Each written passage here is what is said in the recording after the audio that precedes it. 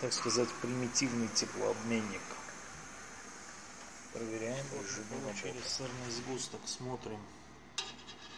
Он очень хорошо отделяется, фактически мощно просел. Мощно там сыворотка вот. Вот сыворотка. Так, сейчас будем нарезать его, промывать и ставить на форму. Уже промываем сырное зерно. Вот, смотрите, как оно уже я его разрезал. Несколько раз промыл. Вот последний этап промывки. Сейчас после этого мы... Вот оно, это сырное зерно, из которого формируется... Вот оно.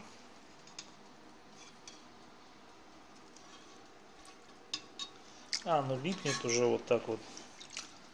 Сейчас мы его последний раз сольем сыворотку и поставим на форму. После прессования э, двухкилограммовая головка сыра опущена в солевой раствор, температура 15 градусов, попытаемся ее придавить.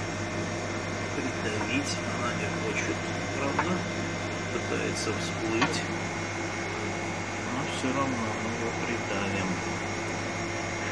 Этот норовит. Вот, так, блин, легче, чем с, с раствор 22% соли, поэтому ладно, сейчас Корка получилась желтая. будем сейчас наносить. Вот мы сушим сыр. Уже фактически это сыр твердый. Он подсох. И значит, завтра мы его уже будем закатывать на созревание. Он в камере сейчас находится.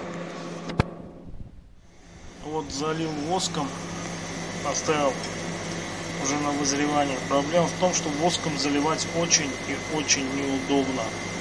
На самом деле все-таки пленка намного лучше. Намного.